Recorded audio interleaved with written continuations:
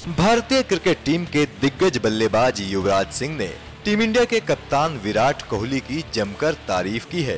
Cricket की प्रतिष्ठित magazine Wisden India से बातचीत के दौरान युवराज ने कहा कि कोहली बहुत तेज़ी से सीखने वाले खिलाड़ी हैं। युवराज ने कहा कि कोहली ने बहुत कम वक्त में बहुत कुछ सीख लिया है। वो मौजूदा दौर के उन खिलाड़ियों में से हैं जो हर बार अपने प्रदर्शन को नए स्तर पर ले जाते हैं।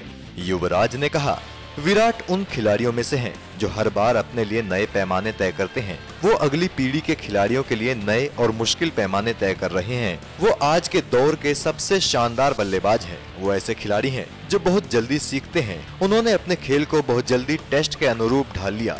जो हमने 10 सालों में सीखा, वो कोहली ने तीन चार सालों में ही सीख लिया। आपको बता दें कि भारत के लिए दो वनडे इंटरनेशनल मैचों में आठ हज़ार पाँच सौ उनतालीस रन बनाने वाले युवराज टेस्ट क्रिकेट में बहुत ज़्यादा प्रभाव नहीं छोड़ पाए।